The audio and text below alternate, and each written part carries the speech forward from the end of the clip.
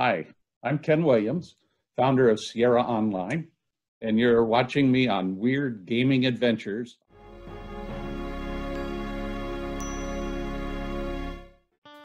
Ken Williams, founder of Sierra Online, known to be all business, but today we're going to show you a side of him that I doubt that you've ever seen.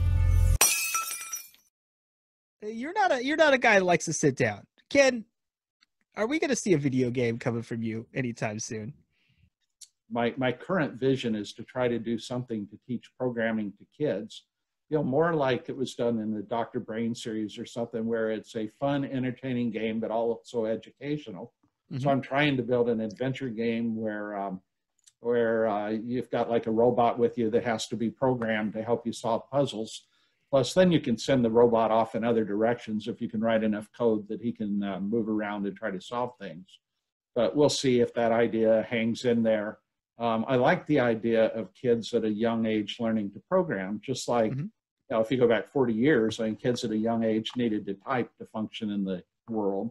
Now, I think really when you start thinking 30 years from now, if kids aren't learning to program now, I'm not sure. Um, well, or maybe they just learn, but it just seems fun. Uh, plus, as a one guy, I know yeah. I can't go out there and compete with big dollar games.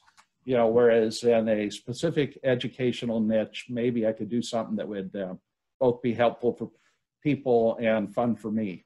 I just want an excuse to code. Well, it's nice for kids to be able to uh, to to learn something, and you know, nowadays you don't have to know visual c++ you know and so it seems it seems like a, a, a, nice little way that you're going there. I like where you're at throwing stuff against the wall. Hopefully can something will stick. And like you said gives you an excuse to code. However you're ken williams. You have a name here. Does that make yeah. you nervous? Does does that do you have to yeah, live up to well, your own name? big expectations that mm-hmm. um yeah, that's a problem. Well, that's another reason. I, you know, I, I would if I were if we were willing to sit still, I would, you know, call Activision or somebody and say, you know, give me millions of dollars, let me hire a team and let me build a game. But